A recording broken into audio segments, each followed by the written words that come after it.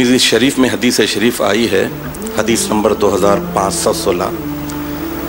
حضرت عبداللہ ابن عباس رضی اللہ تعالیٰ عنہ کہتے ہیں کہ مجھ سے حضور نبی اکرم صلی اللہ تعالیٰ علیہ وسلم ارشاد فرمائے کہ اے بچے، جان لے، اگر ساری دنیا تجھے فائدہ پہنچانے پر متفق ہو جائے، یکجا ہو جائے، تو وہ صرف اتنا ہی فائدہ پہنچا سکتے ہیں جتنا اللہ تعالیٰ نے تیرے نصیب میں لکھ دیا ہے۔ اور اے بچے، جان لے کہ اگر ساری دنیا تجھے نقصان پہنچانے پر متفق ہو جائے، یکجا ہو جائے، ساری دنیا اکٹھا ہو جائے، تو وہ صرف اتنا ہی نقصان پہنچا سکتی ہے جتنا اللہ تعالیٰ نے تیرے نصیب میں لکھ دیا ہے۔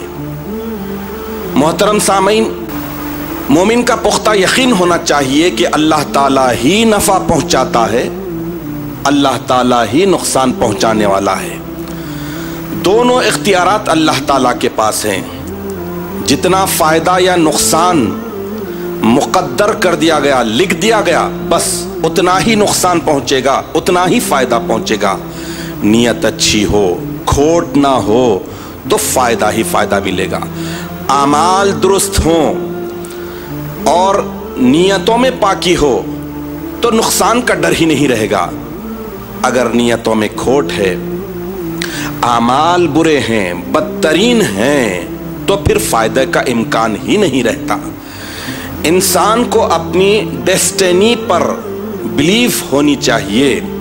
یعنی اس حدیث شریف سے یہ بات معلوم ہو رہی ہے، اللہ کے پیارے نبی صلی اللہ تعالی علیہ وسلم ہمارے دلوں میں اس یقین کو پختہ فرما رہے ہیں کہ اگر نقصان ہو رہا ہے تو صبر کرنا اور رجوع اللہ سے کرنا۔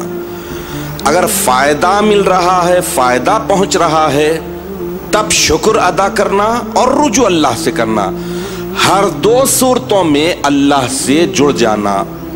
تب ہی کہیں مومن بندہ اللہ سے خرب حاصل کر سکتا ہے۔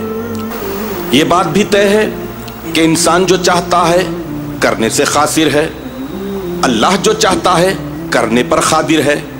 تو خاصر پر نہیں، بلکہ خادر پر بھروسہ، توکل، اعتماد ہونا چاہیے۔